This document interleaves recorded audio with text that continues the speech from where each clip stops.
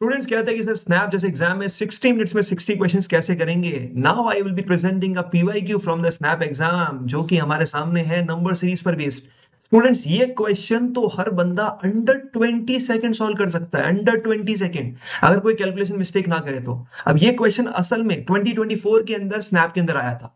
Increasing series है, लेकिन हमको डिफरेंस निकालना है, देखो डिफरेंस कितने का है? सर यहाँ पर प्लस ट्वेल्व हो रहा है।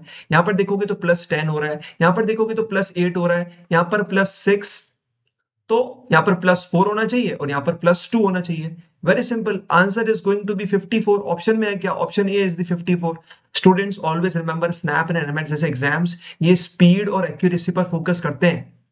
स्पीड एंड एक्यूरेसी पे.